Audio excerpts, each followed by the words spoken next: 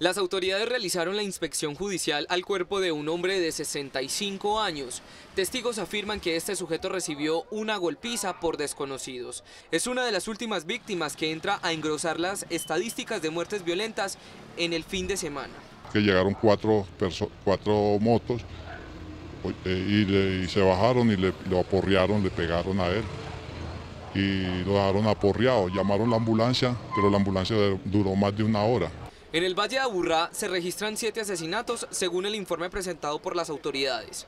El trabajo interinstitucional está dando resultados con el fin de poder judicializar y también prevenir este tipo de hechos. Hablamos de que básicamente y aproximadamente el 30% de los eh, homicidios que se están presentando a nivel metropolitano corresponden a situaciones de convivencia.